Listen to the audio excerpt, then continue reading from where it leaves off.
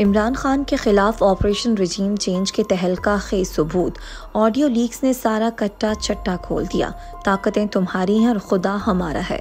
इमरान खान ने वज़ीर अजम हाउस से निकलते हुए ऐसे ही नहीं कहा था कि देखो कोई रह तो नहीं गया जो आज मेरे खिलाफ ना हो।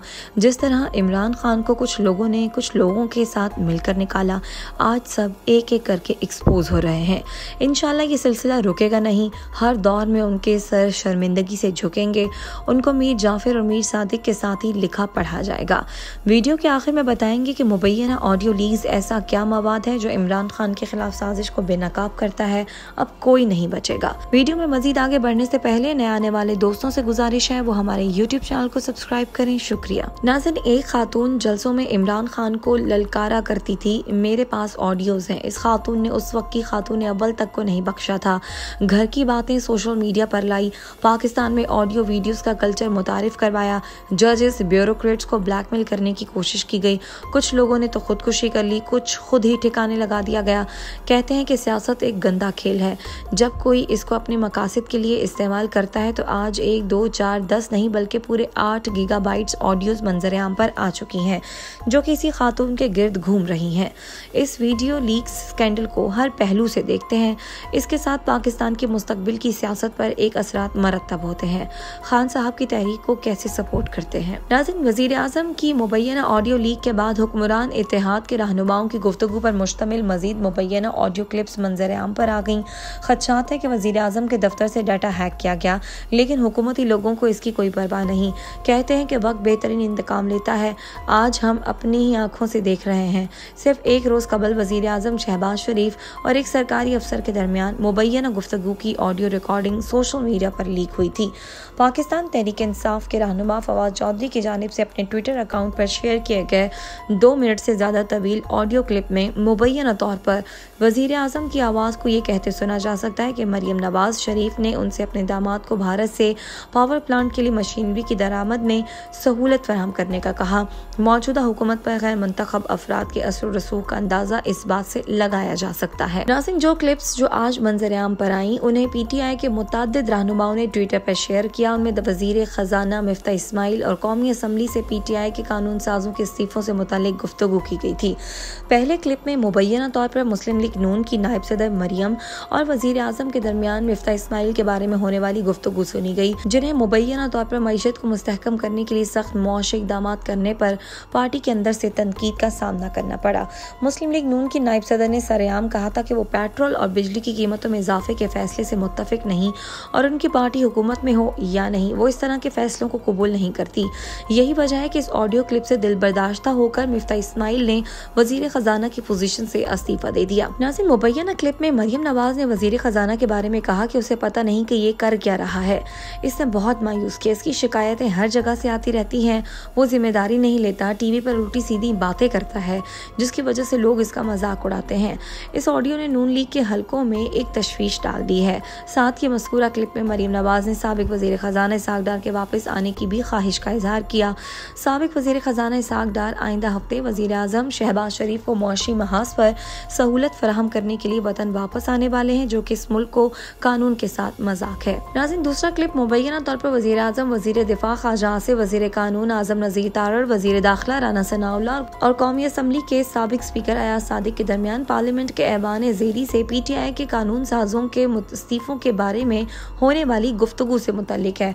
ऐसे में कि जब हुकूमत इस मामले पर अपनी खामोशी बरकरार रखे हुए है पी टी आई के रहनुमाओं की जानब से दफ्तर वजी अजम की सिक्योरिटी पर सवाल उठाए गए, जिस तरह से दफ्तर वजी अजम डाटा को डार्क वेब पर फरोख्त के लिए पेश किया गया, इससे मुल्क की साइबर सिक्योरिटी की हालत ज़ाहिर होती है। नाजिन, ये हमारी इंटेलिजेंस एजेंसियों खसूस आई बी की बहुत बड़ी नाकामी है। ज़ाहिर है, सियासी मामला के अलावा सिक्योरिटी और खारजा मौजूद पर भी अहम गुफ्तु अब सबकी दस्तरस में है। चंद रोज कबल एक ऑडियो लीक तनाज़े का मरकज बनने वाले खैबर पख्तनख्वा के सूबाई वज़ीर तैमूर खान झगड़ा ने कहा कि दफ्तर वज़ीर अजम से एट जी का डाटा लीक हुआ। कत नज़र इसके कि कौन बोल रहा है? ये रिकॉर्डिंग का कैमरा कल्चर शर्मनाक है। उन्होंने सवाल किया कि क्या कोई जवाब देगा कि किस कानून के तहत और कौन सी सियासी क्यादत की बातचीत को टैप कर रहा है? चाहे वज़ीर अजम के दफ्तर में हो या फ़ोन पर।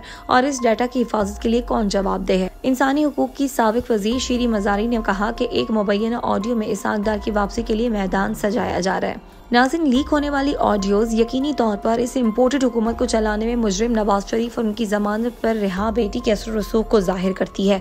असल मसला यह है कि सबसे पहले दफ्तर वज़ीर अजम या वज़ीर अजम हाउस में जासूसी किसने की? हैकिंग इसलिए हुई क्योंकि आलात इन मकाम पर रखे गए थे। जिम्मेदार कौन है अहकाम या फैसला कहाँ से आया? ये एक ऐसा सवाल है जिस पर भी तवज्जो दी जानी चाहिए। नाजिन विफाकी वज़ीर दाखिला राना सनाउल्ला ने सागडार की वापसी की तस्दीक करते हुए कहा है की सागडार अगले हफ़्ते पाकिस्तान आ सकते हैं। हुकूमत इसाकदार के तजर्बे से इस्तेफादा करेगी। माहिर मीशत डॉक्टर अकबर जैदी ने कहा कि इसाकदार के पास कोई जादू की छड़ी नहीं है कि डॉलर दो सौ सैंतालीस से एक सौ सत्तर रुपए तक आ जाए। वक्त बताएगा कि मुझे छुपने की जगह नहीं मिलेगी या इमरान खान को भागने का रास्ता नहीं मिलेगा। राना सनाउल्ला के बरक्स सबक विफाकी वज़ीर दाखिला शेख रशीद का कहना था कि इसाकदार आए या नवाज़ शरीफ हुकूमत का खेल खत्म। शेख रशीद ने कहा कि मैं चाहता हूँ सब लोग ग्राउंड रियलिटी देखें। कल उनकी उम्मीदों पर पानी फिर गई ये भिखारी सिवाय खैरात मांगने की कुछ नहीं कर रहे बिलावल भुट्टो पर तनकीद करते हुए शेख रशीद का कहना था कि बिलावल भुट्टो कहते हैं फ़्लाइट मिस हो गई, इससे वॉशिंगटन लैंड किया। अगर हालात को ना समझा गया तो हालात लोग अपने हाथ में ले लेंगे। नासिन सबक वज़ीर दाखिला ने बताया कि वजारत खारजा ने एन जी ओ के इसराइल दौरे का अरेंज किया। अब वो लोग कहाँ हैं जो फ्रांस को बुरा भला कहते थे? आज तो फ्रांस के साथ बगल बगलगीर हो रहे हैं। उनका कहना था कि जो मजहबी कार्ड इमरान खान के खिलाफ इस्तेमाल करना चाहते थे, वो उनके खिलाफ हो रहा है। तो सियासी क्यादत की बातचीत को टैप कर रहा है। चाहे वज़ीर अजम के दफ्तर में हो या फ़ोन पर। और इस डाटा की हिफाजत के लिए कौन जवाबदेह है? इंसानी हकूक की सबक वज़ीर शीरी मजारी ने कहा कि एक मुबैना ऑडियो में इसाकदार की वापसी के लिए मैदान सजाया जा रहा है। नाजिन लीक होने वाली ऑडियोज यकीनी तौर पर इस इम्पोर्टेड हुकूमत को चलाने में मुजरिम नवाज़ शरीफ और उनकी जमानत पर रिहा बेटी के असर रसूख को ज़ाहिर करती है। असल मसला यह है कि सबसे पहले दफ्तर वज़ीर अजम या वज़ीर अजम हाउस में जासूसी किसने की? हैकिंग इसलिए हुई क्योंकि आलात इन मकाम पर रखे गए थे। जिम्मेदार कौन है अहकाम या फैसला कहाँ से आया? ये एक ऐसा सवाल है जिस पर भी तवज्जो दी जानी चाहिए। नाजिन विफाकी वजी दाखिला राना सनाउल्ला ने सागदार की वापसी की तस्दीक करते हुए कहा है की सागदार अगले हफ़्ते पाकिस्तान आ सकते हैं। हुकूमत इसाकदार के तजर्बे से इस्तेफादा करेगी। माहिर मीशत डॉक्टर अकबर जैदी ने कहा कि इसाकदार के पास कोई जादू की छड़ी नहीं है कि डॉलर दो सौ सैंतालीस से एक सौ सत्तर रुपए तक आ जाए। वक्त बताएगा कि मुझे छुपने की जगह नहीं मिलेगी या इमरान खान को भागने का रास्ता नहीं मिलेगा। राना सनाउल्ला के बरक्स सबक विफाकी वज़ीर दाखिला शेख रशीद का कहना था कि इसाकदार आए या नवाज़ शरीफ हुकूमत का खेल खत्म।